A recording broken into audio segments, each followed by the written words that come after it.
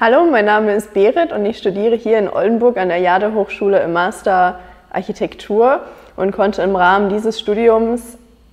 die Zertifizierung ähm, zum DENA Energieeffizienzexperten machen.